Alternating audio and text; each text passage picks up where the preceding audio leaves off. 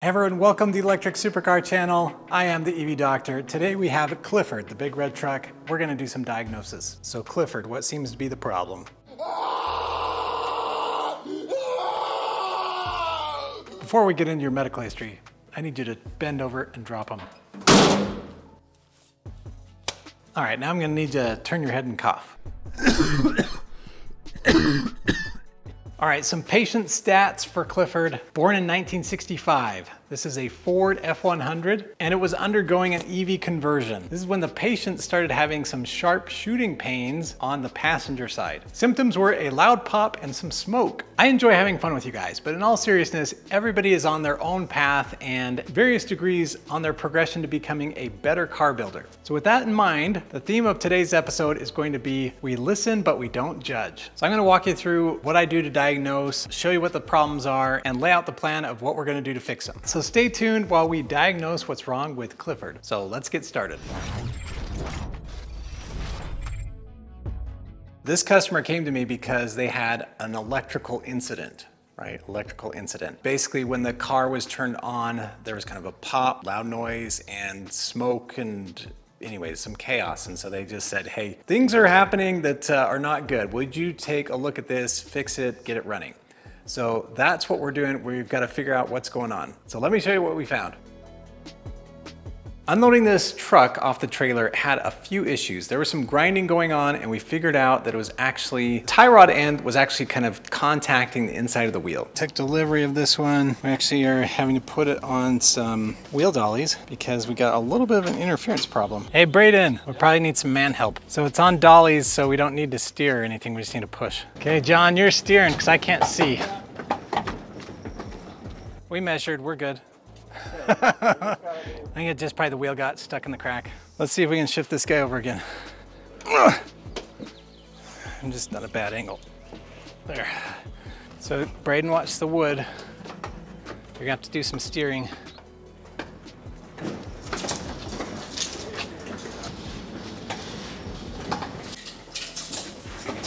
I think we made it. There are also quite a few issues with the wheels. Let me tell you about some of those. We just took off the wheel. So these were the lug nuts that were on the outside. I'll show you on the other wheel, but uh, we're thinking that these were actually supposed to go here because those ones don't sink in far enough to let wheels sit all the way against that spacer. So here it is on the other side. Um, you see these are the ones that I think are supposed to be on the inside because the inside ones look a little more direct decorative, but there is space right here where it's not quite sitting against wheel hub. So you can see my finger sits in between there. And I think the reason why it can't sit there is because those nuts on the inside won't let this sit all the way. So you see this, this is not a machined bevel. This is actually where the wheel was contacting the tie rod end. So basically as they were unloading the vehicle uh, at the shop here. Took us a while to figure out what was going on, but uh, the wheels have some spacing issues. Even uh, looks like it took off some of the wheel weights. We'll have to get these rebalanced. So basically this is where it was grinding on the wheel. And at first we thought, well, maybe they had like bent an arm or something, but actually this position cannot change. So this position also cannot change. There was nothing bent. Um, we looked at the wheel setup and there's quite a few things going on that needed some correcting. So these are the wheel spacers that were on there. And this kind of lip is actually supposed to go inside here. So when we put it on, not sure you can tell, but basically there's a gap, meaning that lip is a little too big and it doesn't quite sit down. So the face of the tire, or the face of the wheel, this face, is not touching this face, which is kind of important. Also, really for the hub-centric spacers, you really want to make sure this fits well with your wheel. The other thing, this wheel spacer has quite a bit of gap, you know, so you really want that, again, fitting really nicely on the hub. The other thing, the wheel hub was secured with these lug nuts. So a couple issues with these lug nuts. Number one, again, you'll see the wheel could not sit up against this surface because of these as well. So meaning that was, the wheel was gonna stand off there. That's a really not a great thing. The other thing, let me show you. So this is the lug nut that was used to secure it. And the problem is this is not the right thread size. That is insane right? It, it, threads in like that's the right thread size, but it is really loose. So this is an M12 by 125. This is a 7 16 20 tap. That's tight, right? No wiggle room. This is not the right lug nut for this hub. So one of the other things we noticed is there is a big disparity in brakes. So I've got a couple of images here, but you can see the back brakes and rotors are significantly larger than the front. The rears are four piston calipers, the fronts are just one piston calipers. For stopping purposes, you would really rather have the front brakes be a little more aggressive than the rear. So this current setup is quite bad for braking, even if you have a proportioning valve. On my blue car, on Watson, I actually have four pistons in the front and four pistons in the back, and it still had to use the proportioning valve kind of all the way to the front to get it so the rears wouldn't lock up before the front. What we're gonna do is we're gonna replace the front hubs. So we're gonna get new rotors, new hubs, and new brakes. We're gonna do six piston calipers up front. This should really help with the stopping power. It should also provide the spacing we need to get the tie rods away from the wheels while still maintaining the wheel spacing that he wants. One other issue this had with wheels or suspension is on the rear. So when I took off the rear wheel to kind of get access to some of the wiring, I noticed that there was a problem. So this is supposed to have something on the end. So this part had broken off. You can see it's bent. And so it just sheared right off. Um, this car had utilized, it looks like a prefabricated bracket. So it's going to be a little challenging to show you just because the spacing is tight. But basically they used this part on the suspension right up here. And uh, this is too wide. And you can see they're not parallel anymore. But uh, because it was, they had some unique spacers and uh, hardware geometry, this was also, I'll say at the wrong angle. I think it would have been better like this. It was like this. So that means the suspension could go this way, but not this way. And that's kind of the way the wheels travel, is you want it to be able to kind of pivot back and forth. So they had a mount up top there, and it wasn't quite in line. And so basically when it was under load, it kind of bent. One of them was bent, the other one broke off. Needless to say, we're gonna have to redo the rear suspension geometry. So back to the theme of the episode, we listen, but we don't judge. Everybody's gonna be at their own experience level in their building cars progression. So there's gonna be tons of people that are way better than me, but I feel like it's a good idea to help everybody understand what some of these issues are and how we can learn from it. So again, we listen, but we don't judge. There is now a level zero. So we're gonna help the customer out. We're gonna get this all sorted so it's nice and neat. For today's sponsor, we have Tesman. This is a brake fluid tester. All right. So you might be wondering what you would need to use something like this for. This is to test your brake fluid and more specifically the moisture content in your brake fluid. So the way brakes work is they rely on incompressible fluid to apply the braking pressure. The problem with moisture Water is incompressible, but basically when your brakes heat up, if it gets above boiling, then all of a sudden that becomes a gas, which is very compressible. That's why we wanna make sure to keep moisture out of the brake lines. We've got a lot of vehicles here. Some of them come in and we don't know kind of what condition they're in, how their brakes are. It's a good idea to have something like this. We can make sure the brakes and the braking system is working properly. This is the Nissan we've been working on for some time. It's got some brake fluid in, so we're gonna go ahead and do some testing. So all we do is we push the button, it'll turn on. Right here, it's got 0.0, so we'll go ahead and try it out and see what moisture content we've got. Yeah, C starts with zero. Go ahead and put it in. It'll give us the reading. All right, you see uh, this is dot three brake fluid. On here, it also says dot three. You can also do dot four or dot 5.1. So this vehicle had been sitting for 37 years. I figured if any vehicle had bad, this one might have bad, so we'll check it. As you can see, if you hold the S button, it will hold the value. That is the H here, and you can do that until you can record it properly. This product has an 8.5 inch flexible probe. It has a hold function so it can keep the data so you can document it properly. All this for about 17 bucks. So if you're interested in a product like this, I'll leave a link in the video description below.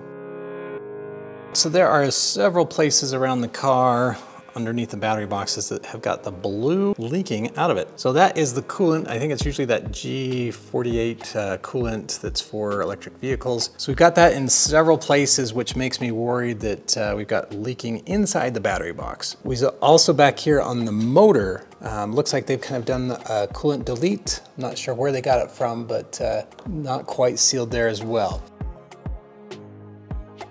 So we got this truck on the lift now, but what we're gonna do is that we're actually gonna take out the seat because that's where most electronics are kind of situated behind the seat. So we're gonna take out that and kind of look at the electronics, see what we gotta work with.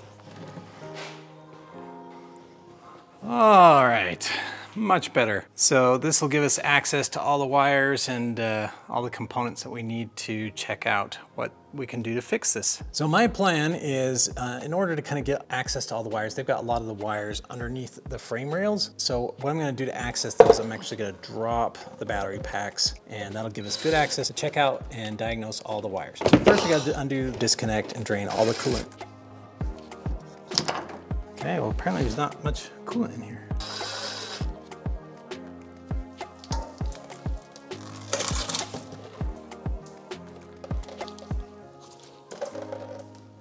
Still not much. We're okay with that. And also disconnect the high voltage as well as low voltage to the battery boxes.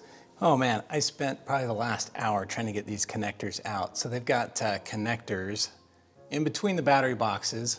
So these are the connectors. So the only challenge is you had to get like a screwdriver from the backside up here to kind of pry that. Basically, it, the tab is on the top side, so you can see some of those ones that are still there. And then there's like part of the frame that's in between. So you can't really get anything longer than that up there. So I was using this to try and get up there with your hands and oh my gosh, took so long. The other thing that aided was this guy so again, I do a lot better if I can see what's going on. So great to have a little borescope tool. We've got uh, this battery pack that is disconnected. So we've got the coolant hoses as well as the high voltage and even the cell taps and low voltage connections are all gone on this one. So we're gonna go ahead and put my rolling table under here. We're gonna lower the lift so it's basically on top of the table and then we will uh, undo the bolts and then just raise up the lift. Battery box is out. Now we get to see kind of the damage. So we're under the car, this is looking back, so that is the bed of the truck. It looks like they did the whole rear subframe from the Model S. That's a great way to go. And this is where we had the issue. And he thinks, and I think I agree, what happened is he was uh, drilling and tapping holes to mount things. And I believe it's this hole right here. Basically, it came up, and I don't know if you can see that, but this is a high voltage wire and it looks like just a little bit of bare copper is exposed there, which makes me think they probably just nicked it with the drill or tap, and that's kind of what caused a lot of that uh, issue there. So that is only half of what's going on though. So basically for a battery to, I'll say conduct or have a lot of energy be discharged, you actually need to create a circuit. So meaning I think this was one spot. Let me show you where the other spot is. So here's the battery box. Can you tell where the other spot might be? So we will need to take the top off here, but uh, something tells me that uh, maybe we've got a lead or something that's uh, contacting or too close uh, to the battery box. Basically, this is one point that was conducting. The other point was the, what we saw under the car. All right, we're gonna do some quick tests just to see if we're isolated from the box. So 185 volts. So we're gonna see if either one, so that one's good. It seems like it's at least isolated from the box. I'm concerned just because we got a big old scorch spot there, melted spot that we might be contacting but uh, seems like we're at least good at some level. So this is the isolation meter.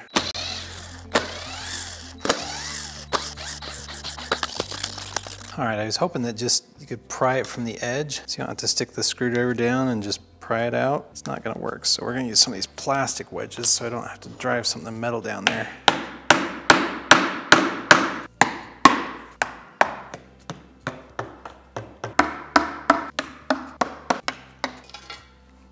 Wow. So indeed we can see some coolant leaking, so we definitely don't want that. We'll see if we can figure out, looks like there's at least some right here as well on that manifold. So we'll see if we can figure out where the leaks are. But um, for now, I also wanna go to the other side where our catastrophic event happened. Right, so this is the other side. Again, we just see a little bit of coolant here. Up here, you can see a little bit of melting of the insulation and uh, right above here, so kind of where this, where we've got a spot that looks like gone through. So I don't know that we'll be able to see that until we take the top off.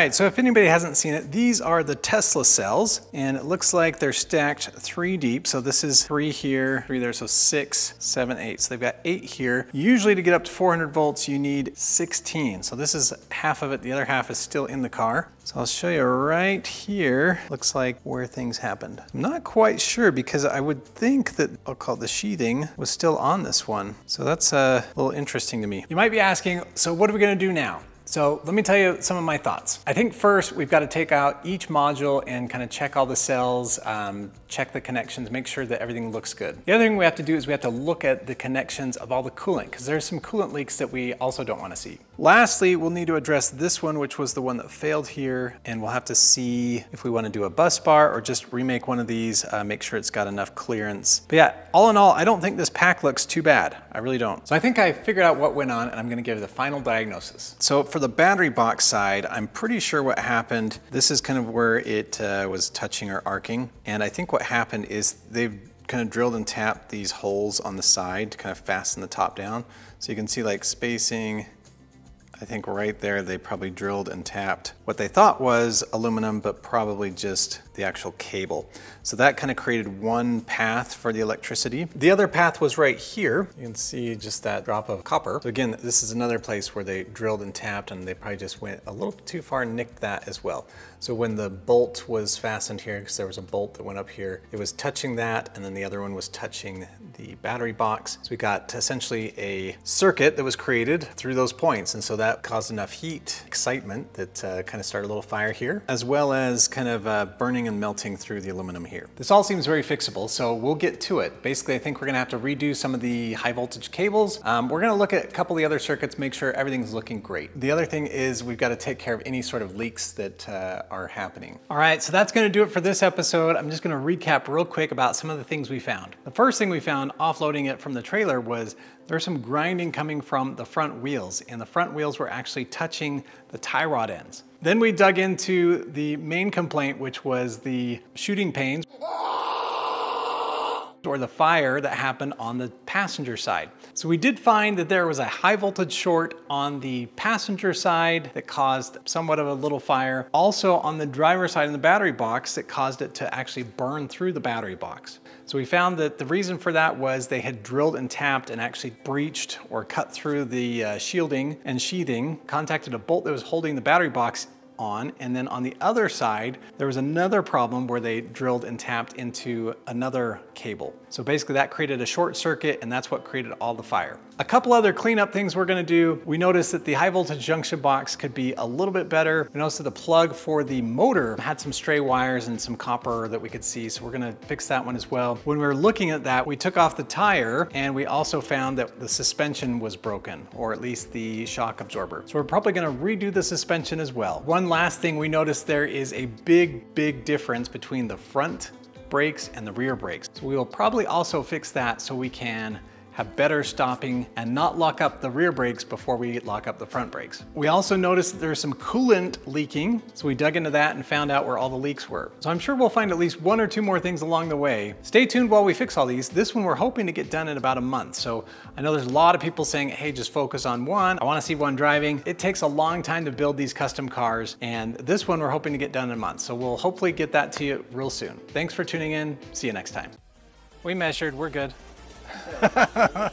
place in their, everybody's gonna be at their own experience level in their building cars